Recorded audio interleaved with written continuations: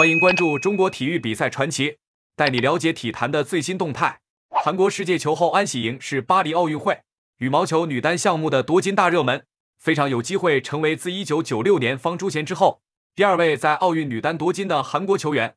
安喜莹二十五日在奥运媒体日接受采访时表示，自己的身体状况已经恢复八成，誓言夺下魁违十六年的奥运羽毛球女单金牌。安喜莹在去年杭州亚运会夺金后遭遇膝伤。外界对于他能否在巴黎奥运夺金画上问号，但他在巴黎奥运前两站分别拿下一冠一亚的好成绩。先是在新加坡羽毛球公开赛封后，之后在印度尼西亚羽毛球公开赛拿下亚军。安喜莹受访被问及备战情况，他笑说会努力用浪漫的方式结束，因为自己在炎热的天气下做了很艰苦的准备。之所以用浪漫形容，是教练给的建议。若是以兴奋的心情展开新的一天，当你完成训练之后，就感觉度过美好的一天。自己就是这样克服伤病。如果我以浪漫的方式结束巴黎奥运之旅，那这就代表我度过很棒的一年。